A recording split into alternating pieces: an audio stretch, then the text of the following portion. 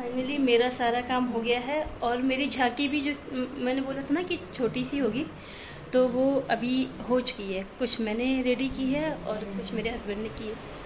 तो इतना छोटा सा मंदिर इसमें ज़्यादा कुछ हो नहीं सकता है तो बस कुछ इस तरह से की है नीचे का ये सब मैंने कर लिया था इतना। और ये ऊपर वाला पार्ट मेरी पहुँच के बाहर था तो ये आके हस्बैंड ने किया है।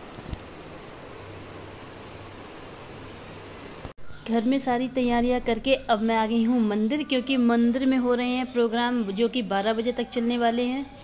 और ये मेरी फ्रेंड है, अपने बेटे से गुस्सा हो रही थी, पता नहीं क्या हो गया इनको। तो यहाँ पे ये चल रहा था, यहाँ पे बच्चों के डांस वगैरह हो रहे थे। और ये है मंदिर मंदिर में ये ठाकुर जी का झूला रखा हुआ है। यहाँ पे वो जन्म होने के बाद उनका ये झूला यहाँ पे लगाया मतलब बैठा ले जाएँगे वो। बाकी पूरा मंदिर मतलब पूरा बर्थडे थीम में ही सजाया गया था।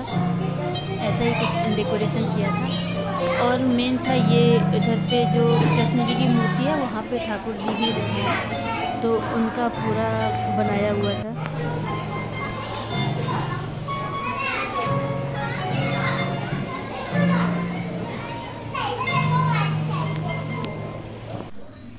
और ये जो ग्रीन पत्तों में ढका हुआ है ना ये है गर्भगृह। इसके अंदर ठाकुर जी रखे हैं। जब उनका जन्म होगा तब वो इससे निकाले जाएँगे। मुझे पता नहीं था तो मैंने पंडित जी से पूछा। उन्होंने बताया कि ऐसा है। बाकी ये देखो कितना सुंदर डेकोरेशन था। और रिटर्न गिफ्ट में ये फ्रूटी मिलने वाली थी सबको प्रसाद में। ए इधर देखो। इधर क्या हो गया? क्या हो गया? ये है लिटिल कृष्णा। ये बहुत प्यारी लग रही थी और जब वो चल रही थी ना, ऐसे क्रॉल कर रहे थे तो बिल्कुल कृष्णा जी ही दिख रहे थे। ऐसा लग रहा था कि मानो जैसे सच में कृष्णा जी घूम रहे हैं वहाँ पे। और वैसी ही शैतानियाँ भी इनकी चल रही थी। इन भाई साहब के पास में एक छोटा सा बच्चा था। वो इसको जाके बार बार परेशान कर रही थी जाके। ये लड़की है, लेकिन ये कृष्णा बनी हुई है।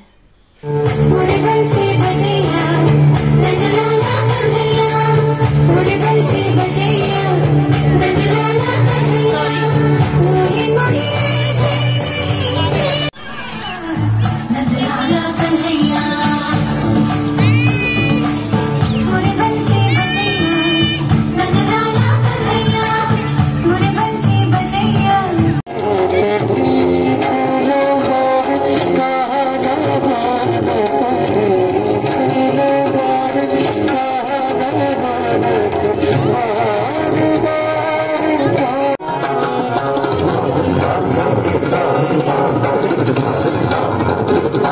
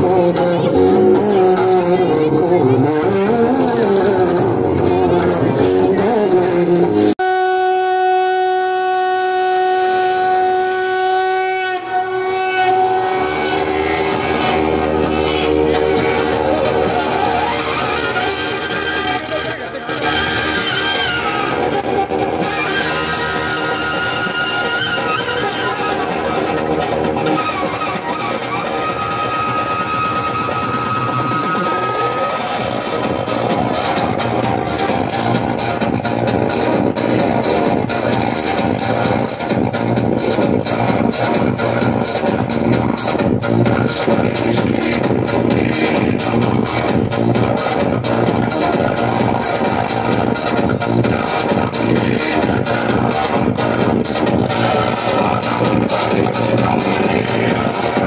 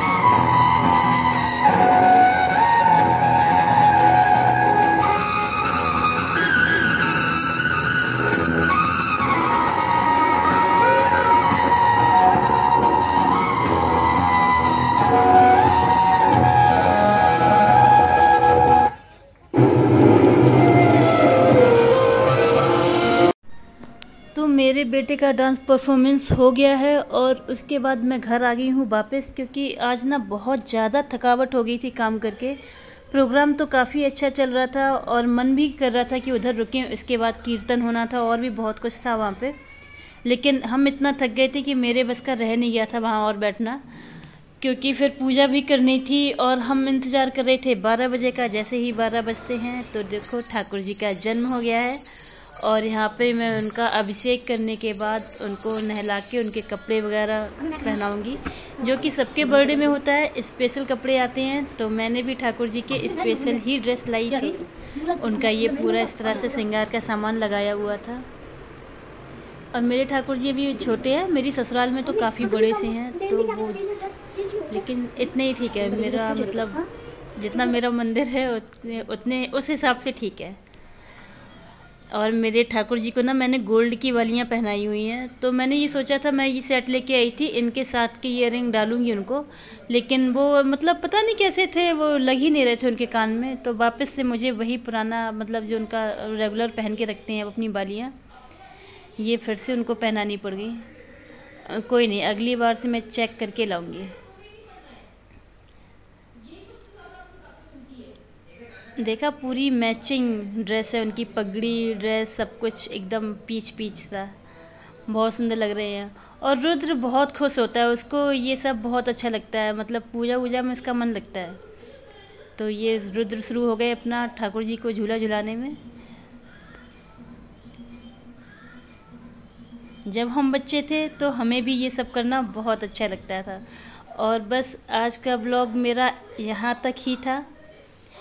मेरी, मैंने अपनी जन्माष्टमी कुछ इस तरह से सेलिब्रेट की। आप सबने कैसी की, आप लोग भी कमेंट करके बताइए। और ये ज़रूर बताइए कि मेरा आज का ये ब्लॉग कैसा था। और इसमें जो एक परफॉर्मेंस है, हरे गोविंद बोलो, हरे गोपाल बोलो, वो मेरे बेटे का है। वो आप पूरा डांस देखना बहुत अच्छा है उसमें